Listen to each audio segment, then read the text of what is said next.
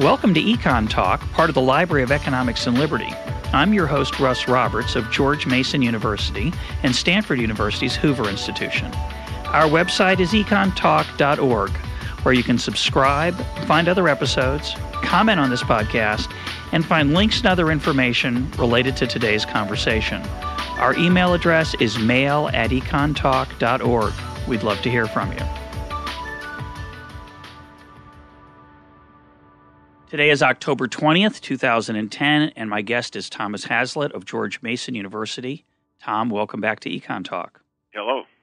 This past summer, you wrote a piece in the Financial Times arguing that the standard view of Google and Apple's business strategies misses the point. The standard view is critical of Apple for being a closed system and praises Google for its openness. Well, let's start with that standard view and then we'll get to your critique. So, what is this critique that you hear uh, the standard view that critiques Apple and Google, Apple and praises Google? Well, the uh, uh, the interesting schism uh, you, you, see a lot in the tech press, where there is um, you know widespread criticism of Apple for being uh, uh, so-called proprietary or closed platform, and it, it's actually on multiple levels that the accusation is made in the United States uh, Apple only markets its iPhone for use on one of the uh, four competing networks, national networks, and um, has an exclusive uh, contract with AT&T. That's seen to be, uh, you know, an exclusive approach that uh, denies uh, the customers of the Apple products the benefits of competition. Uh, then uh, from there, of course, when you buy an Apple uh, product, in this case the iPhone, uh, you're stuck in a uh, an Apple organized world. So it's easy to go to iTunes, but it's hard to go to anywhere else uh, if you want to buy music or applications videos. for the for the for the phone. That's right. And you go to the Apple App Store for your applications. And so Apple uh, uh, takes care of a lot of organization and uh, sets the rules for how the application developers and there are a lot of developers, and they're independent. They're not owned by Apple, but they come in through Apple, and they agree to work on Apple's terms and conditions. And uh, Apple uh, takes, uh, uh at last report, 30% uh, of the revenues generated in the App Store, and they have other deals for iTunes, and, uh, of course, that they negotiate with the content owners. But the idea that um, many people have is that that's a vertical control issue that really is uh, very dirigiste. It's uh, an artifact of a of an old industrial age that the new wave uh, brought to us courtesy of the internet and advanced technology is represented by a company like Google. So Google, seeing uh, the success of smartphone platforms, not just uh, Apple iPhone, of course, but the uh, very important predecessor, uh, which is the Research in Motion RIM uh, BlackBerry platform, uh, and and other competitors. Uh, Google comes into the market. Excuse me, uh, comes into the market with a, uh, a smartphone innovation of its own, but they only produce the software. They grab a. It's the a, Android. Well, yeah, they grab a mobile operating system uh, they reportedly paid uh, up to fifty million dollars for, and they tweak that, uh, uh, extend and revise, and put that out. Uh, call it Android, and uh, create uh, an ecosystem where any uh, hardware maker can grab the software, put it on their machine. Of course, they have to abide by terms and conditions as established by Google to do that, but there is um, a license fee that transfers without dollar payment. And Google's idea is just get market share, get this stuff out there, make it good software, uh, make it free, and and uh, on the back end do a lot of promotion uh, to enable uh, people to get excited about this product, understand that there is an application store that they'll be able to go to, and they organize a lot of that. Uh, and in fact, Google also takes 30%. They thought that was a good number hmm. uh, on the Google application store, the Android store. And um, Uh, so uh, they are very laissez-faire relative to Apple about what kinds of apps get on the phone. And, uh, and who cares? That you can get many different, you have lots of choices, right? If you want an Android phone.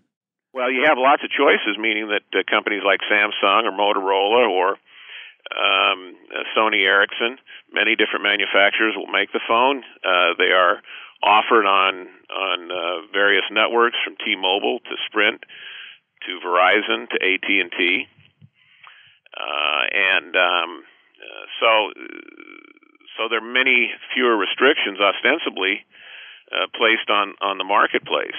Now, before we go any Google. further, before we go any further, Tom, do you have either an Android or an iPhone in your uh, personal collection? yeah, reveal reveal Sorry. your your interest. Yeah. Yes, I uh, I'm I'm looking at my iPhone right Oh. now. Yes. Okay, I- just I'm going to come clean. I have a, a Motorola Razor, which is sort of like carrying a, uh, I think one of those crank phones that they used to have in the early 20th century. Where, you know, you talk in the little horn area. Uh, when it came out, it was cutting edge. Um, maybe that's why they called it the Razor. But I'm definitely uh, I look like something of a dinosaur with its primitive keyboard, and I rarely use the internet on it. On the other hand, I do have an iPad which I will be talking about later because my purchase of the iPad and writing about it got me interested uh, once again in these topics, along with your article. Right. Uh, so, so you're an iPhone user. So some would argue, I won't, but some might argue that they're you're, you're biased. You're a you're a Mac uh, guy, and therefore you can't view this um, issue clearly. But uh, we'll we'll put that to the side. We'll just sort of take it. Well, it would be a funny sort of bias. I mean, I, I think the causation runs the other way. That is to say that I, uh, I like the product, and uh, there's no conflict with what I'm, what I believe about the marketplace. So I went and bought the product. But uh, I was sort of a late iPhone adopter. I got it about a year ago. Yeah. And I, I, to be honest, uh, I'm not particularly excited about the applications on the iPhone. I, I like it because it's a good phone. It actually works Interesting. better than other phones I've had, and I actually make voice phone calls on it. I don't know if any of your listeners understand that application, but uh, It's it's, a- it's quite an exciting one. It's a primitive use of a of an you know an ex, an advanced Speak- technology. Speak for yourself. Yeah. Okay. Well, so so that's the standard view. The standard view is that Apple, and I want to tweak your standard view a little bit. So one one way to state the standard view that a lot of people hold is that is that Apple through this closed platform is making a mistake, and that Google has the better strategy. That's one way to phrase it. The other view, though, is a little more um, uh, negative. That somehow it's anti-capitalist or anti-freedom or anti I've heard Hayek Hayekian to support Apple because they have this top-down strategy. And Google's got this as you said ecosystem more emergent less controlled uh, more out of control which is a virtue in a Hayekian world often not always.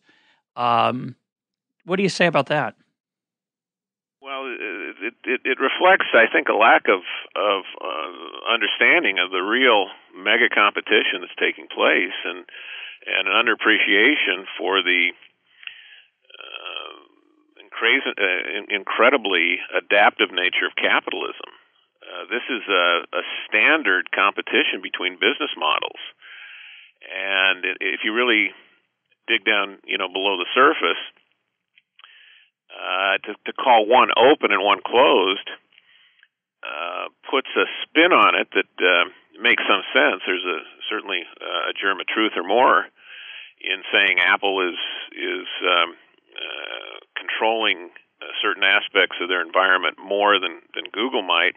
Google is playing more to the partnership aspect, but to say that that that one is capitalist and one one is anti-capitalist uh, just really fails to see what what Schumpeter and, and the great uh, philosophers of capitalism have talked about in terms of creative destruction and the competition, not just between products or services, but between modes of production. And you're seeing rival structures compete in the marketplace and offer consumers value in a very innovative discovery process that, that's fascinating to watch as an observer and wonderful to participate in as a consumer. Uh, and I should also add that the developers are you know are, are uh, another side of this are, are you know quite interesting, and many of them are in the tech community, and many of them have the so-called standard view of the, the situation that you've you've posed. But many others, uh, there really is quite a schism. Many others love the Apple platform. They love the coordination that is provided vertically by Apple to push its ecosystem farther and through you know Apple investment uh, more aggressively than others might. And in many respects, Google has learned, of course, from from from the Apple experience, and and and much of their marketing is uh, you know really trying to to assert some uh, vertical coherence to to pushing in a coordinated sense pushing that whole platform forward. And that that also is delivering great value to their developers. But they've had to you know they've they've had to shape that and and give up some of that uh, laissez-faire attitude about the you know j- just let everybody else carry the ball.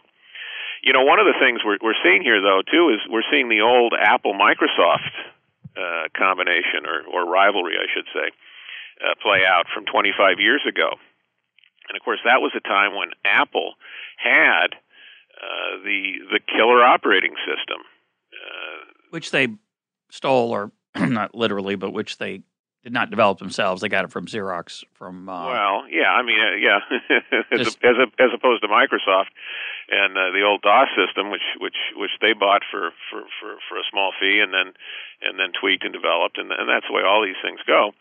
So, um, uh, but uh, 25 years ago, 1985, uh, we're talking about a world in which uh, Mac had the uh, graphical user interface, and that was, as as we've seen over the last 25 years, that that was the killer it approach. Better, it was a better product to, to, to, to operating systems. There was nothing nothing to rival it, and in fact, uh, famously, Bill Gates uh, then flew to Cupertino. He had to he had he had to go see them uh, because Apple was everything and Microsoft wasn't even a public company in 1985. And he tried to talk Apple and Steve Jobs in particular into uh, basically going the licensing route on the operating system and taking on all the companies uh, in the uh, in the computer world as partners, essentially. You know, from Hewlett Packard to IBM and all the box makers. And in a in a in a wonderful, I think it was a three page letter that has now been uh, uh, published in, in, in some books on the matter. Uh, Gates laid out uh, the the idea that, that that as good as Apple was in uh, marketing its own products and, and creating innovative uh, new ideas, you know, for new for new platforms, they could never bring bring to bear uh, the great uh, uh, inventiveness of a whole market of of innovators, and he supplies names and and phone numbers for contacts at all these computer makers, saying, "Look, these people want to make." products with your Apple software. Please allow them to do it.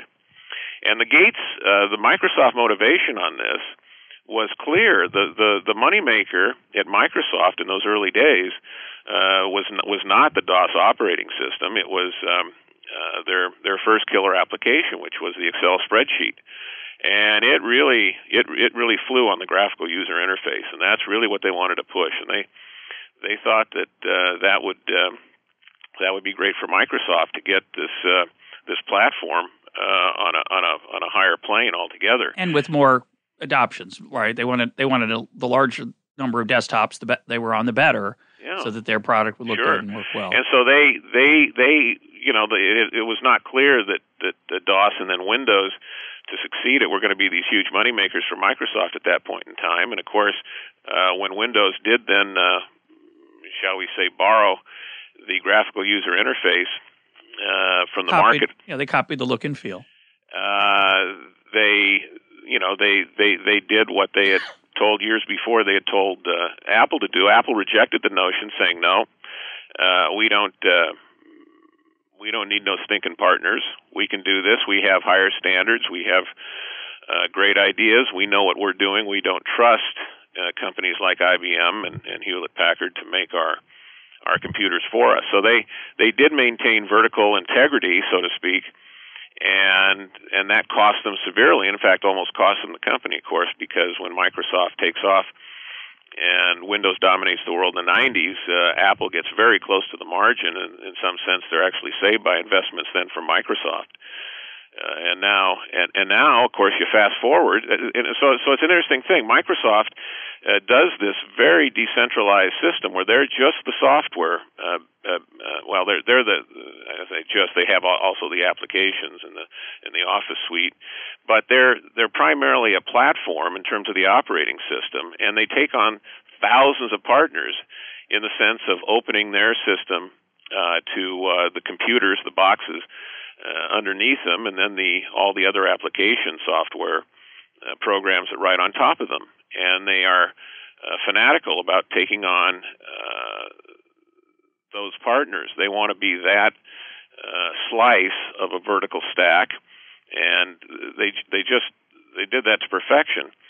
Uh, almost uh, in terms of uh, certainly the market success of it. So the standard view of that is of that story. The the accepted narrative is that Apple made a marketing, a strategic blunder by failing, by staying with a closed system. They should have opened up like Microsoft because they did. Microsoft cleaned their clock, almost knocked them out of business, and in some sense, really did. Uh, but at the last sort of minute, Apple survives and somehow, ironically, manages to not just rebound, but to dominate using the same strategy that failed them before. Exactly, and so and so here we are in 2010. and You say, well, you know, Apple was right. Apple was right. Look at look, look at how well they're doing, and in fact, they're doing well, they're doing incredibly well. And, and and you should kick yourself for not buying Apple in 2002. Well, it's highest valued. A few days ago, it was we're recording this on October 20th, 2010. A few days ago, they uh, their market value was the highest of any company in uh, on the stock exchange. Correct? Yeah. Highest public valued company, and I think uh, it may still be. It went down a little bit a, a couple days ago, but um, they're doing something right now. The, the question is whether it's a long run strategy for success. And I have to make my confession now. In 1985, I purchased a oh, what was it called? Um, a classic, the classic Mac. It could hold up to a 12 page document It was really a spectacular machine.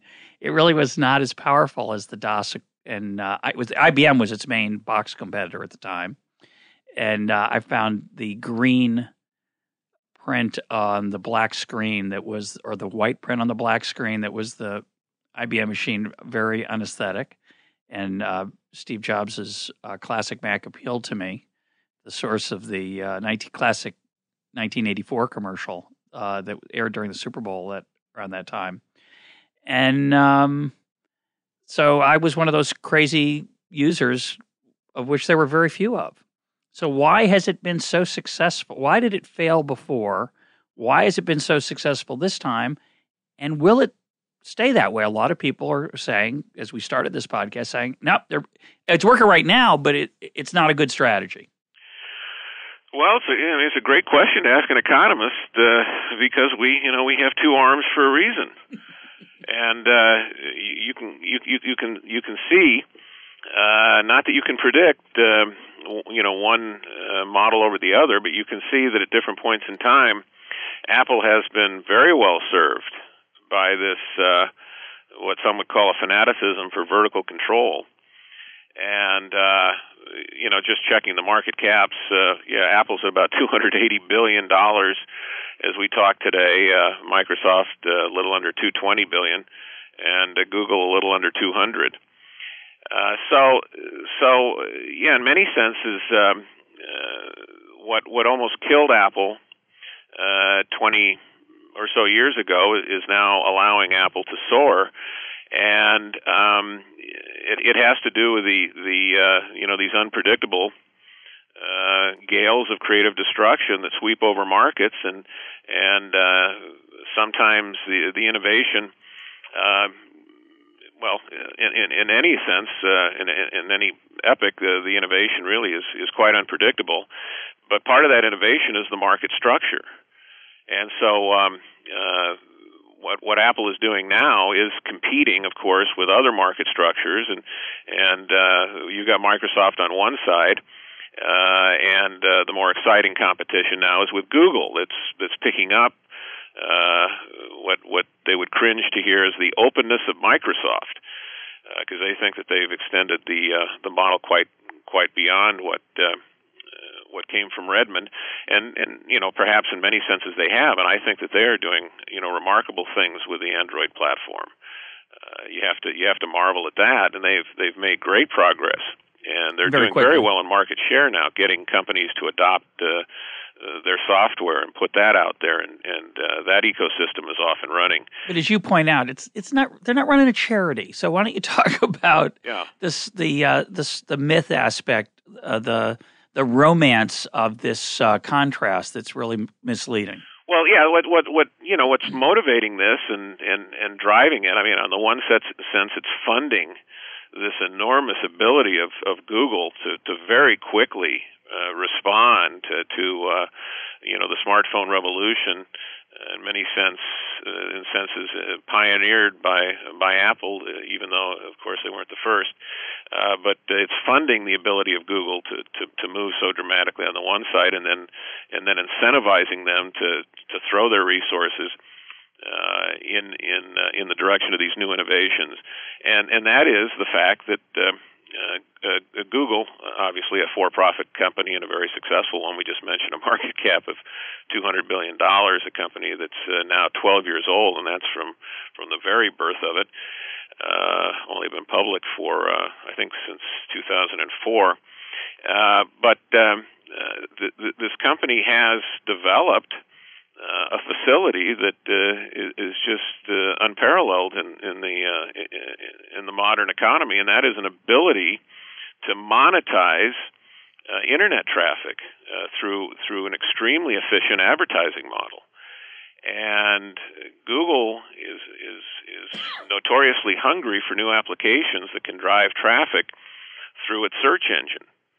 And so when you say that Google has an open model uh, with the Android, um, it's we th- we think we know what that means, but in, in terms of being philosophically or uh, uh, sort of uh, ideologically different in in some stark sense from from say the model that is being pursued by Apple, it's it's curious. They're, Tom, they're sharing. Come on, they're letting everybody in on the party. well, they're they're happy on, to it- share their search engine with you, but uh, they they're not happy to, to to share their search engine without payment on the advertiser side.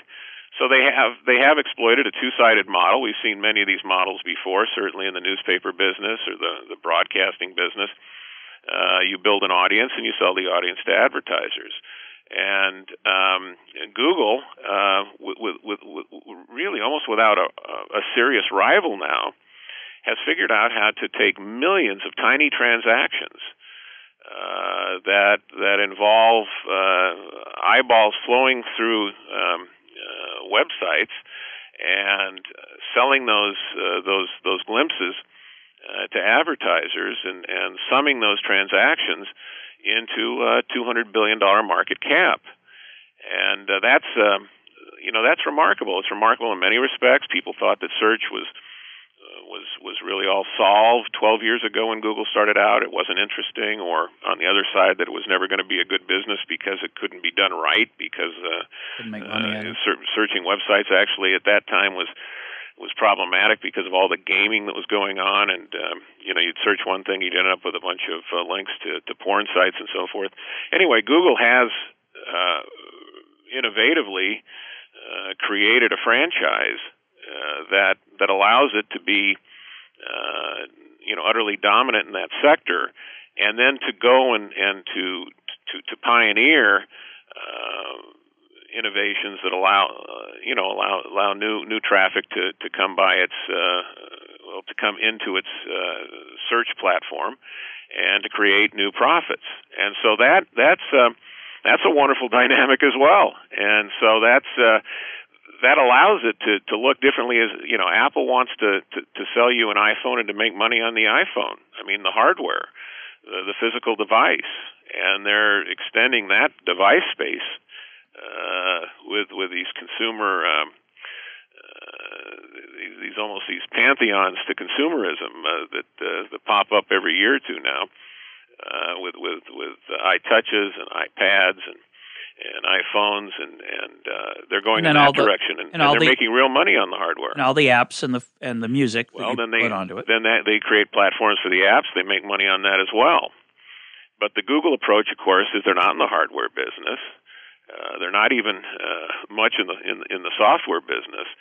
Uh, they're in the, uh, the the the services business and, and the search engine business, and all these other uh, offshoots, and they're they're, they're over what 150 applications that uh, they um, they offer you on uh, uh, Google.com now but they're all uh, dependent on the search, essentially all dependent on the search engine for the revenue. A massive majority of the, uh, you know, well over 90% of the, of, of the revenues are driven by search. So you're suggesting that, strangely enough, Google is like Apple. They're trying to make money. You might think that they have their business model because they're trying to do the right thing, let everybody have access to their product. And Apple's mean because they don't they make you play by their rules. But as you point out, the reason they have those two differences, they have different strategies, they have different products they're selling, and it's really misleading to um, think of it as the good guys versus the bad guys. Yeah, well, of course, as a general as a, as a general matter, I think they are doing the right thing, and I think they're bringing value to society. Absolutely, yeah. And no, the I, fact I that love... they're being rewarded for it is uh, uh, is is uh, a very positive. Uh, outcome of, of the capitalist process. And, I'm, I'm, thrilled, by the way. I just want to get on the record. I, I have no uh, axe to grind against Google. Uh, and for example, I, am a very happy uh, iPad owner, but I'm glad the Android's come along that's going to put competitive pressure on the next generation of iPads. Absolutely. I want to. I want to. Um, and, and and and just a note. I mean, the Google search really.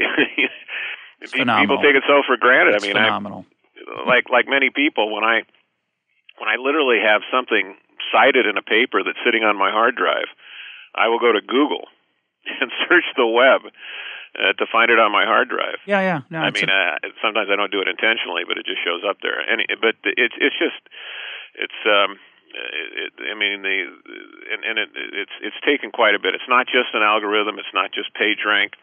It's not just an idea about uh, how to how to clean up search. It's uh, you know, it's a combination. Like any any successful business, it's doing absolutely everything right, and then praying that you've hit the market timing properly. And I'm a big fan of Google, but uh, similarly with Apple, you do have people who see them as uh, controlling on their aspect of the of the ecosystem, which is the search engine. You do hear vendors complain that that they squeeze them out, that they price uh, very rapaciously, that they make it hard to generate uh, traffic for your site unless you pay them, et cetera, et cetera. So, eh, you know, we're painting this as good guy, bad guy in the popular press or perception, but of course, with both guys have that, both companies have their image issues, and these are costs that inevitably are going to be there as you try to make money. Yes, and uh, yeah, the, I mean the challenges faced by by a company like Google, and and just just to, to mention one range, you know, so the whole uh, environment of uh, privacy. Uh, you know, it's it's it's very challenging, and Google has made some, you know, just in hindsight, obvious mistakes. The approach they had to Buzz just a few months ago was a disaster, and they had to quickly retrace their steps. But they have created this. Uh, this brand. That's another uh, artifact of capitalism that is uh, so so strongly uh, seen in this uh, new competitive environment uh, uh, amongst these online giants, uh, and uh, or the the the, um, uh, the communications marketplace, and the um, uh, the the brand that they've developed, the "Don't Be Evil." Uh, uh, motto that has been used internally by the firm uh, from from early on such a high standard of ethical behavior. Don't be evil. Well, yeah. you know, Andy Grove has has mocked it, saying, "Well, you know, what he says Hitler didn't think he was evil either."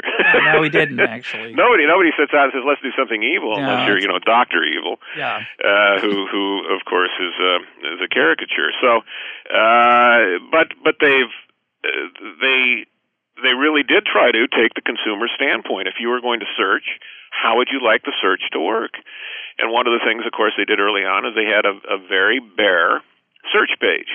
They didn't bombard you with banners or lots of options. You just had a very simple place to go, insert your term, they'll give you a search. And by the way, they did it very fast. The physical network that Google operates on has always been lightning speed and and that, that has also delivered consumer value, enormous oh, consumer value. You don't want to wait for all these things, so you get to use search very frequently rather than just you know space it out because you don't like to wait four or five seconds. So anyway, the the the approach that they've taken uh, to build the brand and to try to live up to the brand again uh, more marketplace competition there. Now, a lot of people have tried to philosophize about this and say that, well, you know, we've we've gone beyond capitalism. This is something else. And in fact, the Google folks themselves uh, have have tried, uh, you know, many times to to to make that argument. Um, but um, the more you know about capitalism, and I, I think the more you know about Google, the more you see them as uh, uh, a vested capitalist enterprise and a very successful one. I just want to comment on a couple things uh, and get your reaction and then I want to move to a, a, a slightly different issue. Uh, this argument that somehow, because of uh, Steve Jobs, Steve Jobs' control freak nature, that somehow his top-down authoritarianism is not uh, consistent with loving freedom or, or Hayek or emergent order. Uh, and by the way, there's a very interesting uh, interview out, which we'll put a link up to, with John Sculley, who was CEO of Apple for 10 years and uh, says he has some very nice insights into Jobs' perfectionism and probably personality. Who knows? Uh, his personality. His his uh, he's um, he's not normal, which I think is a great blessing, and um, has some costs, obviously. But he, his obsession with elegance, design, beauty, and perfection comes with a cost, and it also comes with great benefits. But this idea that somehow because he's so controlling, he's not uh, it, it's not Apple's an unfree company, or to me, it's a misreading of of what Hayek had to say about competition and capitalism. Hayek was never against planning. Uh, it's the question of who plans. Uh, you can't sit around and hope that your company will, the products will emerge from it. You have to order folks around. And Hayek saw the competitive process as you know islands of control and planning competing with each other. And as you point out, these two ecosystem or design or strategies, whatever you want to call them, between Google and Apple, uh, it's the beauty of it is is that they're in competition with each other and other models and other ways of delivering content and and value. And that's what competition's about. And we don't know who's going to win.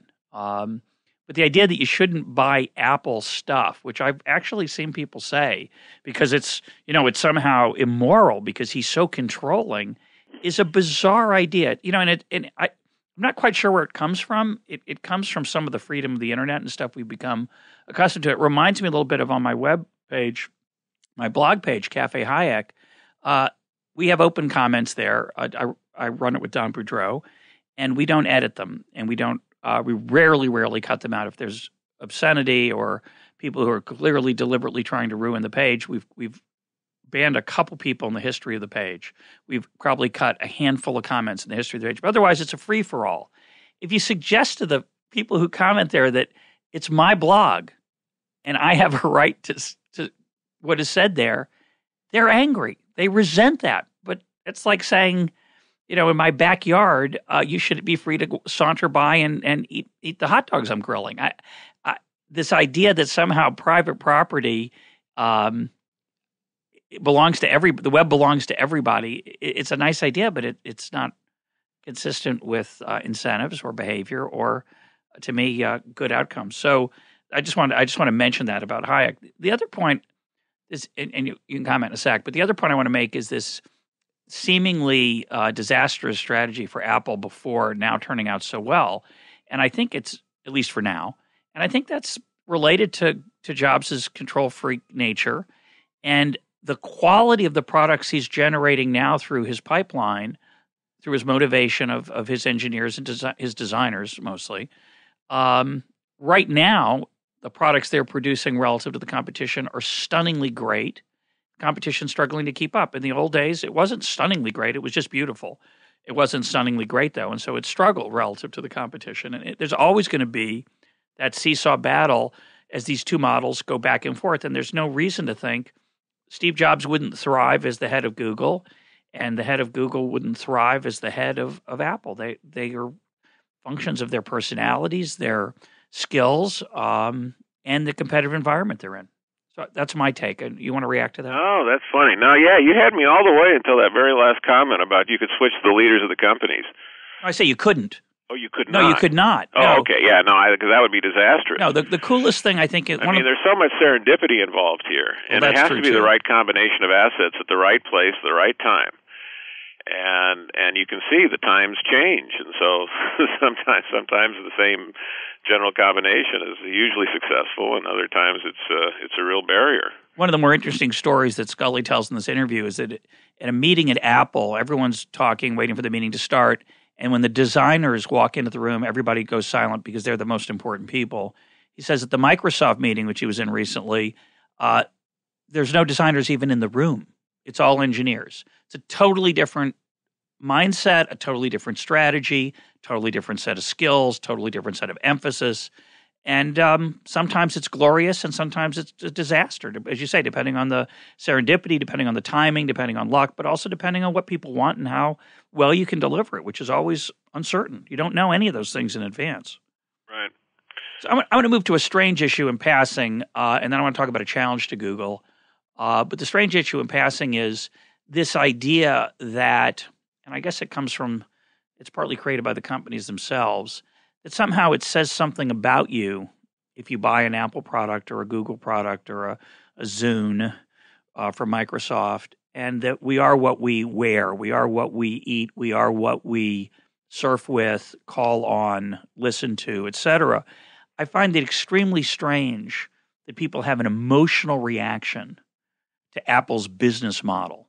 That somehow, I'm not, again, people wrote this on my blog recently when I wrote about the iPad. People said, I'm not going to buy their product as long as it's not compatible with Flash. That's disgusting. you know, it could be an error, right? It could be a mistake uh, that the iPad doesn't do Flash, in which Yeah. case, if you don't like the device that's flash free, don't use it. But why would you get angry? You know, it's like saying, um, I don't like, uh, you know, I was in a, I, I, I test drove a, a Ford uh, uh, Fiesta the other day. I don't like the drink holders. They're, they remind me of, uh, of Satan. So, you know, it's an evil comp. I, I just don't get it. Do you have any insight into that? I find it, Yeah, well, I don't know. I don't know what you're so curious about. I mean, come on, Russ. I mean, you know, if I tell you I drive a Corvette, you form an opinion. And uh, you know, we use we use these consumer products to signal. Uh, you know, whether it's where we live, the house we buy, the car we drive, um, you know, the clothes we wear, the you know. I was going to say the watch we wear, but we don't wear those, any- those signals. We don't. Well, have you to- got yeah, you got your iPhone you got your tell you the time, Yeah, right? sure. Uh, but uh, no, these these are you know these are accoutrements, and um, uh, you know on the one hand it's it's you know it's it's kind of junior high schoolish. Uh, you know, you know I I I I know that my twelve year old daughter lives in the text message world, Yeah. and uh, her you know the handheld device is very important to her. So I you know, uh, I, I don't, I don't think I'm, I'm signaling much to. As I said, I actually buy the iPhone for for phone calls. I was upset with uh, previous uh, phones I made and their, their inability to make phone calls. So, um, but uh, if if you think it, you know, I mean, if if you're out there and you you you know you look at people as though that they're doing one thing or the other, uh, you know, and sending you know various signals, uh, grouping themselves socially. Uh, I don't think that that you know that's uh, again it's the adaptive nature of society. Uh, we've got new technology, but we've got the same old instincts, and uh, you know the incentive structure is the same. You want to you want to put yourself in a, in a certain world. You know, I uh, years ago I was impressed with Thomas Sowell's knowledge and decisions, and uh, one of the things uh, I think it was 1980, and uh, one of the things that uh, was so striking he he. Uh, he says, you know, in any mass consumer market, the the experts in the field despise the mass market product.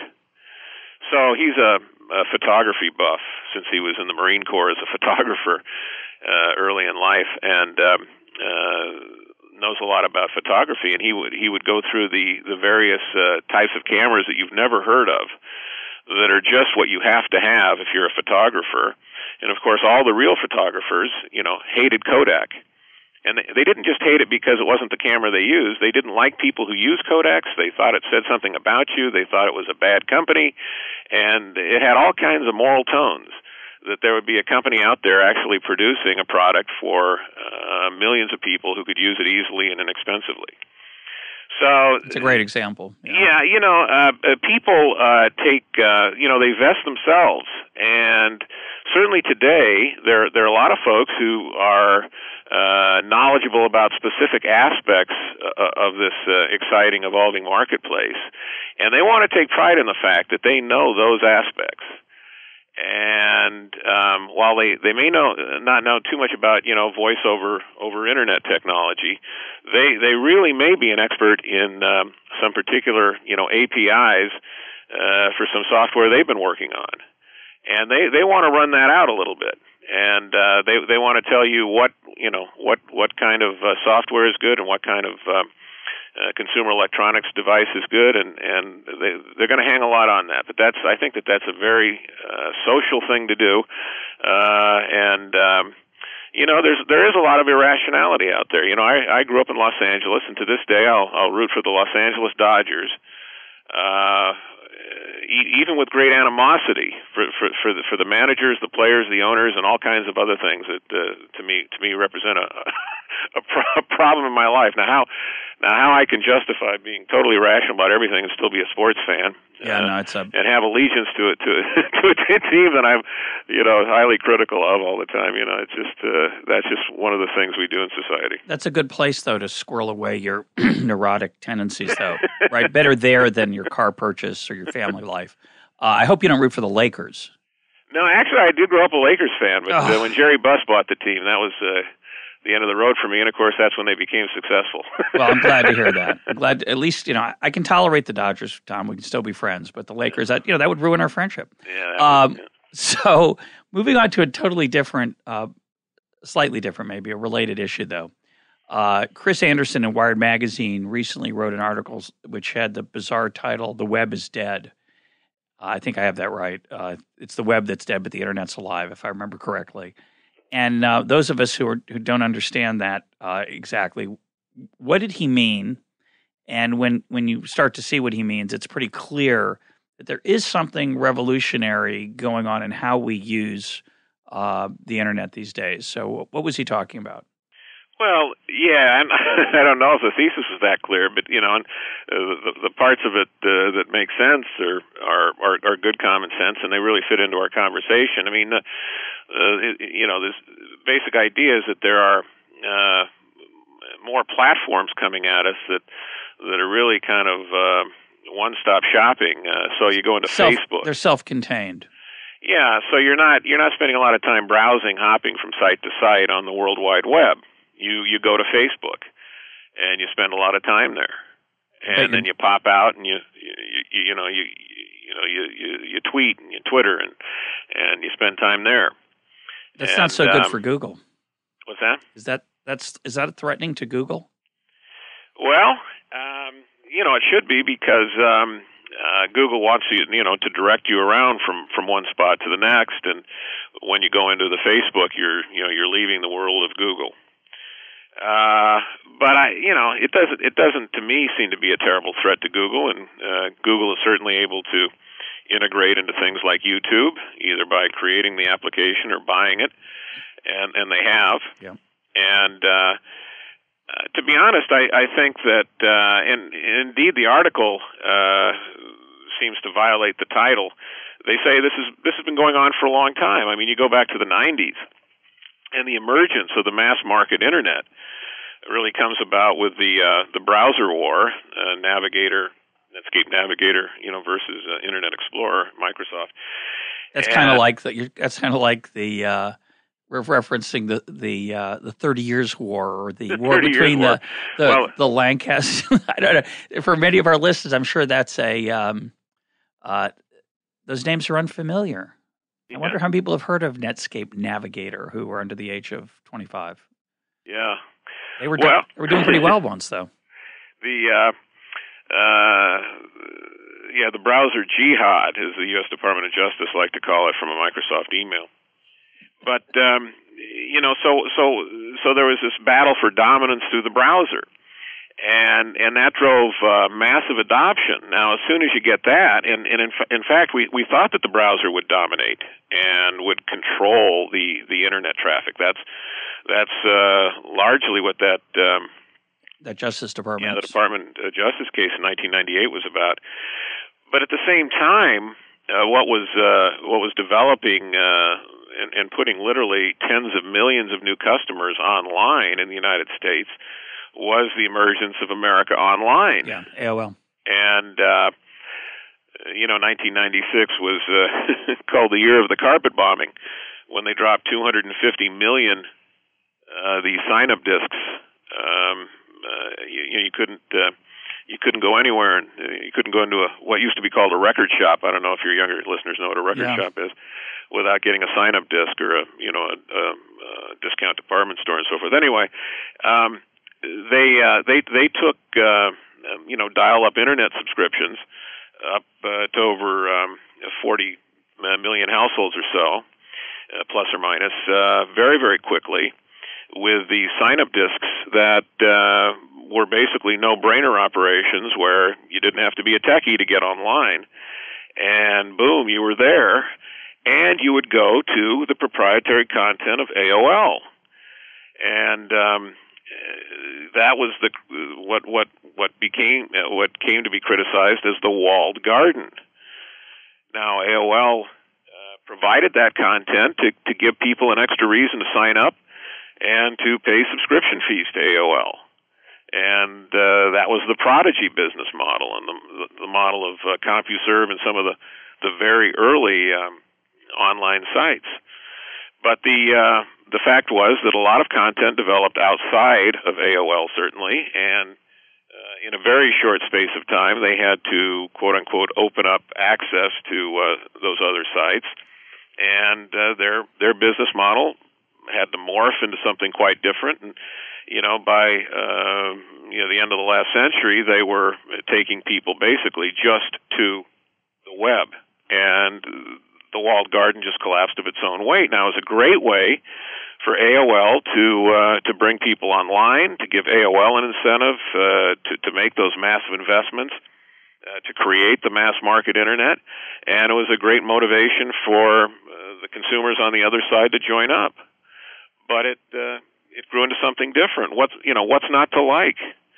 That walled garden was extremely effective and uh, new walled gardens are being created all the time. And in fact, the the, the wireless world, uh, it's it's it's nothing new here. The the real use of of wireless uh, for for mass market and data services developed in Japan, uh, 1999 2000 with Docomo, with um, uh, what what what is still called a walled garden uh, that the Japanese wireless operators, which uh, just in terms of, of data flows and revenues, are the most successful data providers in the wireless world even today. But they have very, very strict rules about how the content has to come into the space and use the wireless uh, uh, facilities, the network, and the spectrum uh, to make the user experience uh, top notch. And the the carriers tell the content providers uh, how they're going to, you know, the formats and so forth, how they're going to actually reach the customers, and then the billing is done uh, routinely by the by the cellular carrier, and and they, you know, they take uh, you know nine or ten percent of the revenues, uh, you know, from from the content providers, and and do all the billing, and that that's just that's a model that's been been been architected by the the carriers, but uh, it, it's um, uh, you know, so there's a lot of vertical control, but it's highly successful. It's it's uh, and, and it's in particularly in Japan where where commute times are long. uh, on average, and uh, you get a lot of people who want to have their handheld sets do a lot for them in terms of access to uh, uh, entertainment and um, uh, all kinds of applications. So anyway, that that that is pioneered, and that you know that that has now given way to other models, in, including you know the BlackBerry RIM and um, the RIM BlackBerry, I should say, and, and Apple iPhone and, and the Google Android, and and uh, all the evolving um, aspects of the wireless ecosystem you see elsewhere. What's fascinating about it to me is, you know, being uh, old enough to remember when IBM was the giant that everyone was afraid of. You know, they said um, IBM was going to dominate the computer world. They were dangerous. It was a big antitrust suit against them, and eventually uh, it it withered away. Right? Nothing really. By the time it came to court, it was really pretty moot. Is that correct? Well, yeah, the, the IBM uh, famous IBM antitrust case was filed on the last day of the Johnson administration in 1969, and then dropped uh, before there. It had been to a district court. There had not been a final district court ruling, and it was dropped by the Reagan administration on January 8th, 1982, if memory serves correctly. Roughly 13 years later.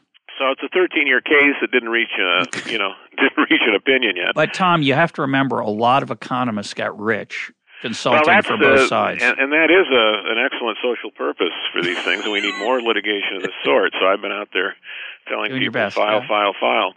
Well, you can even think back about the Microsoft case well, that was my next. That was my next example, and, Yeah. and and you you raised it. You know, you brought it up again for some listeners. You may not know the story because you're young, but uh, at the time, everyone knew and just knew that Microsoft was going to dominate the um, computer world. Uh, they had a huge market share, and their browser, Internet Explorer, was was this gateway to this wonderful new product, and it's it would it was offensive to the uh, Justice Department and to many economists and to many commentators and observers that they had such a dominant share that they could put that browser as the default browser on their boxes, uh, on their in their software that were going through other people's boxes, and uh, we had to do something about it. And now looking back on it, it seems so comically unimportant because it did not foresee the evolution of Google and and now Apple. But now, of course, Google's the scary thing. You know, they're the 800 pound gorilla that we have to restrain. And I just assume as their market share and success continues to grow, that they will be uh, the subject of, of various legal attempts to slow them down. Although Apple's growing success is Yeah. is is forestalling that at least. Yeah. Yeah. Just- The, just the lack of imagination and in appreciating what capitalism and that creative destructive process, uh, it's um, it's an amazing thing. Yeah, the 98, um, May 98, the Department of Justice files a suit against Microsoft. One of the uh, anti-competitive deals, and there were only a handful that were specifically referenced, but but one one of the anti-competitive deals that was allowing Microsoft to monopolize internet traffic with its browser was an exclusive between Internet Explorer and the CBS Sports online site. So you know, you have you have to sort of even scratch your head. so at, at what point in time was the CBS Sports site actually dominating Yeah. uh, anything? But uh, that that that was supposed to be you know that was supposed to be an exclusive that was going to undermine competition. I wanted to uh, point out that uh, when you bring up the IBM example, you immediately trigger a very important um, uh, evolutionary uh, idea. Back in the 1960s and 70s, no doubt IBM was uh, the computer company uh, in terms of market sales, you know, highly dominant. And the structure of that industry was highly vertically integrated. IBM uh, built those computers. They built the, you know, the frames, the software, uh, the and the components, and you know, by and large, and um, and took them out into the market. Uh, when the the desktop, you know, the microcomputer uh, comes out, uh, late 70s, early 80s, and companies are scrambling to participate, including IBM. they have to act rapidly, and that's why IBM did not write the DOS software, but farm that out to Microsoft, and Microsoft turned it into this exceptionally uh, uh, lucrative franchise, and, and, and you know, uh, IBM that that had pioneered the computer world lost out on the next uh, the next round of riches. But uh, what happens is that the entire structure of the industry just spontaneously changes, and the industry becomes far more vertically disintegrated so that you have chip makers and box makers and software operating system makers and application software makers. And this vertical chain uh, comes out of the vertical integration. And that's not because of antitrust. It's not because of regulation. It's a very natural process where the you know the economies in the marketplace uh, demanded vertical integration at one point in time, coordinate, you know, heavy coordination. And then as the industry matured and the technologies grew more powerful, you actually got the ability for standardization of interfaces uh, to, uh, to to to be created, uh, and for uh, coordination to exist without uh, ownership, and and a whole ecosystem evolved out of that. And there, you know, this is this is even more fascinating when you come again fast forward to today, and you see that Apple is is still in many respects fighting that trend. Now, Apple does uh, have a lot less vertical integration, you could argue, today than IBM did in the '60s, and Apple will buy chips and buy all kinds of component parts from the market, but they still remain very uh, you know, vertically dominant, and so, some some would say, you know, controlling in terms of the way they assemble those parts, and they uh, they, they make sure that it's their purchases that uh, that get into the final Apple products. And so Apple's coming around, in essence, fighting that trend while using the trend, using these competitive suppliers uh, to to continue to um, you know to uh, to to put out these new products. And and as you say it's the designers that get to design them not the engineers. And that that's that that's that's uh that's that's quite interesting. And it's certainly it is different than many other companies like Microsoft. Uh, I think you can you can you can almost tell that by just looking at their products right? And and the interesting thing is you can tell it by looking at the boxes their products come in and, and that was one of the points in the Sculley interview that Jobs is obsessed with how the box looks and how it unfolds. He tells the story of in Japan, the manual was upside down when you open the box, and the Japanese didn't like it. In America, it's irrelevant. Nobody cares which direction the manual's facing when you open the box. But yeah. in Japan, it matters, evidently. They, they have a different sensibility about it. It's just, it's a fascinating point you're making though, about the vertical changes being a natural response to the competitive environment. Um, so Apple doesn't have a factory here in the United States where Apple employees manufacture their stuff, but because that's too expensive, but they will monitor that process from their suppliers very differently than, than another company might. Yes. Yeah. We're, we're almost out of time. I want to close with an issue we've touched on in the past, which is the regulatory environment. So the question I have is that you know this competitive process that which we're observing. We've talked about many, many different aspects of it today, uh, and I think that's one of the lessons uh, that you uh, teach so well, which is that competition in, in, capitalism isn't always what you see on the surface. There's all kinds of uh, meta forces going on. So we've talked about this vertical integration issue.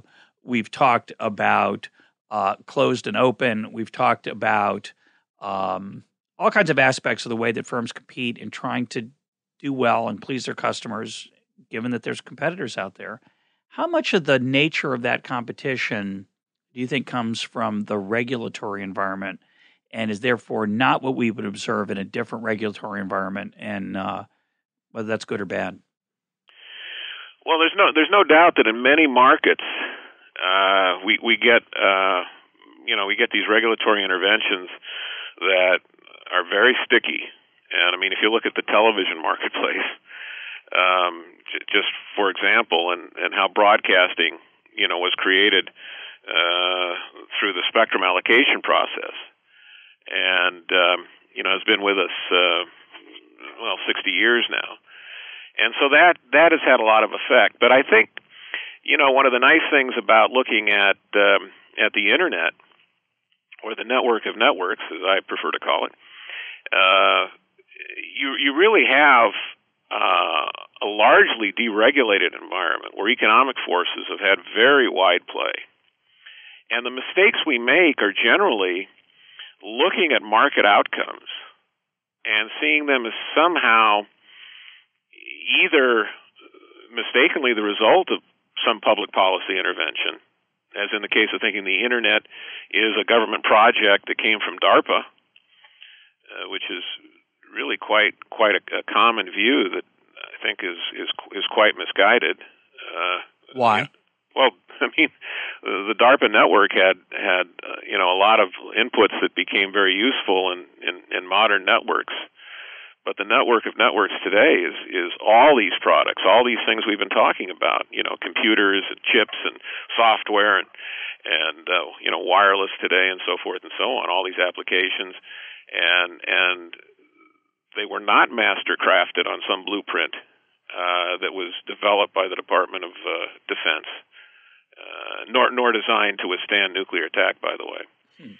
um, so that you know that's that that's that's quite a vision that's, that's incorrect. The the idea that uh, networks are open end to end. There's only uh, control at the edges of the network.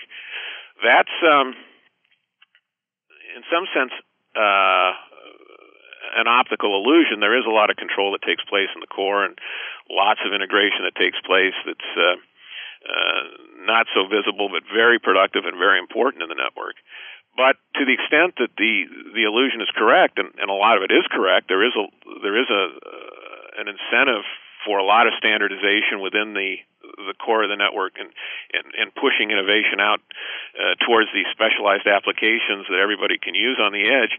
Well, what does that mean for regulation? Well, a lot of people say, well, that means we should enforce, you know, rules like network neutrality that maintain uh, that the only kind of innovation that can take place in terms of structure has to be on the edge applications, uh, and and and and that that, that again is a misreading. The consumer products. When you say the edge, you mean the things that the the, the end users content and applications yeah. that uh, yeah, the in essence mass market customers have access to directly. So that um, that that also uh, just looks past the fact that there's a lot of innovation that takes place in, in, in the networks themselves and in the way they're they're structured, uh, and even in the way these applications come in. The fact that, uh, just for example, Google is highly integrated with, with core networks in terms of how it transports its uh, its applications around the world, and um, and and and the world is more productive for that. And and of course, many other edge applications have been integrating into uh, faster transit to, to make their products better for end users you know, Akamai certainly specializes in speeding up delivery, uh, allowing uh, allowing all these application providers to to avoid the, the the, the you know traffic or congestion of the internet. So you want that integration to go forward. You want competition to not only deliver products but deliver new structures and to have that experimentation available to it. And some sometimes the experimentation is going to be vertically oriented, and that is not you know, uh, there, there, there, you know, any religion that tells you that the, you know, that that is, uh, that is a sacrilege, uh, should be reexamined. It's, it's, it's, uh, and, and certainly categorized as, as just a religious belief. It's not, it's not one founded uh, in the the actual economics of the internet, because there's a lot of integration that takes place. That's that's that's quite. Uh, it's it's quite productive. One one just a quick example, not not, not that I haven't given you some, including Google's integration, but uh, if you um, look at the United States today, we actually have head-to-head phone competition that sprung up just in the last five or six years between cable operators. I'm talking about fixed, not wireless, but fixed. That uh, more than 90% of U.S. households now get to choose between two fixed operators: one the cable company, one the phone company. Well, where did the cable services come from? Well, they're voice over internet, but they're delivered on the cable modem service that is reserved for high quality, low traffic, low interference voice as sold by the local cable operator. So the cable operator literally carves out some of the capacity on their internet network and saves it for their own voice service, allowing that network operator delivering the last mile service to integrate and give you, a, you know, on a discriminatory basis, because Vonage and, and Skype and, and, and other voice over internet uh, services do not have access to this facility. Deliver to the customers a high quality product, uh, an excellent substitute for telephone delivered uh, voice, fixed voice. And so that, that and and that is highly competitive. There is just absolutely no doubt. I mean, we've been trying, you know, in this country for for 25 years to get that uh, that competition uh, uh, jump started, and, and and finally it's here, and people don't even care about it because why? Well, we're all moving to wireless. But yeah. the but the interesting thing is that competition has come into the market through that vertical structure that is highly non-neutral in terms of how you use the internet facility or the internet access provided by the ISP known as the cable operator.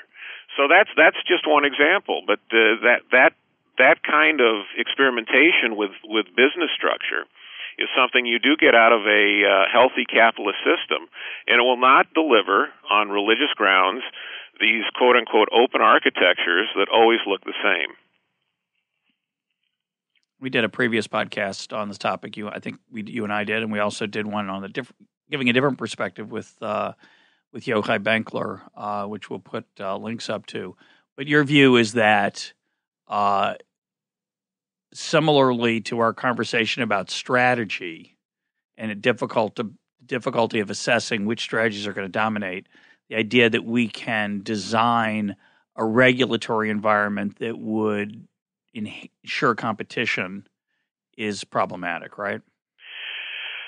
Well, it's certainly problematic. All these things are challenging. Uh, you know, with the structures that are in place now, um, it's.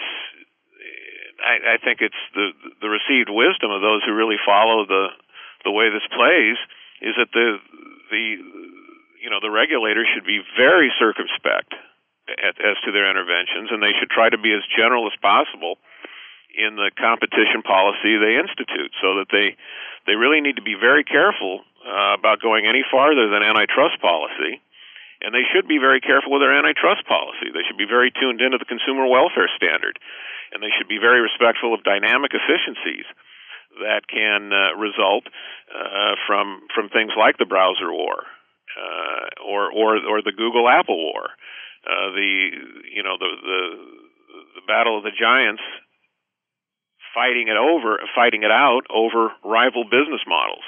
I mean, that is just enormously productive uh, innovation that comes out of that, and we've seen it time after time after time. Uh, trying to micromanage uh, the direction of competition that that that is what we have to uh, avoid. My guest today has been Tom Hazlett. Tom, thanks for being part of Econ Talk. Thanks a lot, Russ.